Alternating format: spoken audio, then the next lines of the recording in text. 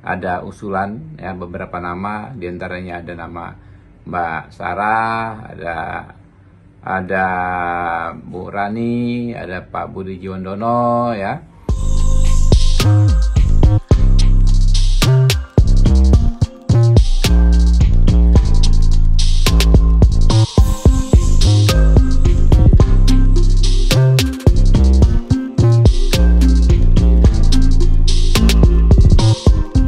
Soal calon gubernur DKI, ya mekanisme diatur di uh, Partai Gerindra adalah uh, DPD, ya yang terkait yaitu DPD, DPD DKI bisa mengusulkan kepada DPP, lalu DPP menyampaikan kepada Ketua Dewan Pembina ataupun uh, Ketua Umum, yaitu Pak Prabowo Subianto untuk diputuskan.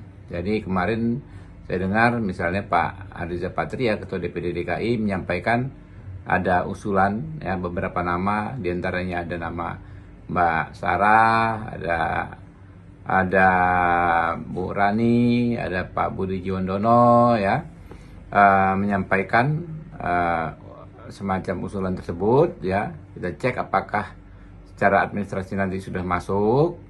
Lalu DPP menyampaikan kepada Pak Prabowo untuk diputuskan tetapi ya tidak menutup kemungkinan nama yang akan dicalonkan dari Partai Gerindra di luar dari nama-nama yang diusulkan oleh uh, DPD tersebut.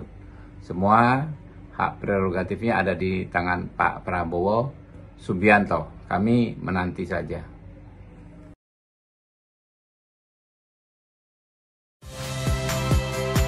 Saya Valentina Sitorus Saksikan program-program Kompas TV melalui siaran digital, pay TV, dan media streaming lainnya.